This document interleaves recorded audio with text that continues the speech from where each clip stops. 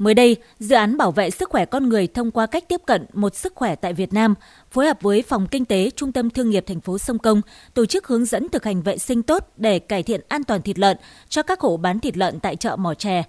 Hoạt động này nằm trong dự án bảo vệ sức khỏe con người thông qua cách tiếp cận một sức khỏe tại Việt Nam do Viện Nghiên cứu Chăn nuôi Quốc tế tài trợ. Với mục đích giúp người bán hàng hiểu và nắm rõ thực hành vệ sinh tốt để cải thiện an toàn thịt lợn, dự án giới thiệu cách thực hành vệ sinh tốt thông qua tập huấn phát triển năng lực cho những người bán thịt lợn dựa trên ba nguyên tắc chính: bề mặt và công cụ sạch, tách biệt giữa thịt sống, các cơ quan nội tạng và thịt lợn chín và giữ tay sạch. Một số người bán được cung cấp thiết bị cần thiết như thớt và dung dịch sát khuẩn tay.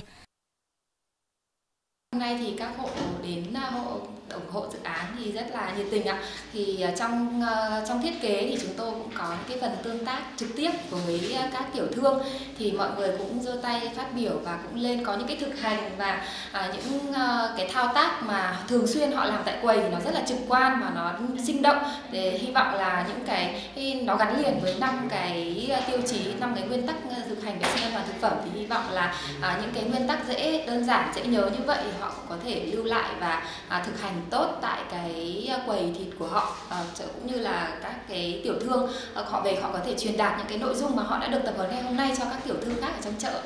Ngay sau buổi tập huấn, dự án đã tiến hành gắn biển đánh giá 5 sao về an toàn vệ sinh thực phẩm đối với các hộ bán thịt lợn đủ điều kiện. Đây cũng được coi như một ghi nhớ để các tiểu thương có ý thức giữ gìn an toàn thực phẩm, bảo vệ sức khỏe người tiêu dùng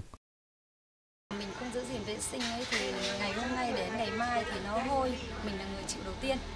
Còn lại là nếu mình giữ gìn vệ sinh và sạch sẽ hơn thì đương nhiên là à, thu hút phần khách hàng sẽ được nhiều hơn. Bởi vì là bây giờ người ta cũng quan tâm mà nếu mà người ta thấy sạch sẽ thì người ta cũng sẽ đến người ta mua nhiều hơn. Trước đó, dự án đã thực hiện giai đoạn thử nghiệm tại 17 quầy thịt lợn tại hai chợ ở tỉnh Thái Nguyên vào cuối năm 2022. Các nỗ lực của dự án sẽ mở rộng đến 68 chợ tại 5 tỉnh bao gồm Hà Nội, Thái Nguyên, Thừa Thiên Huế, Cần Thơ và Đồng Nai.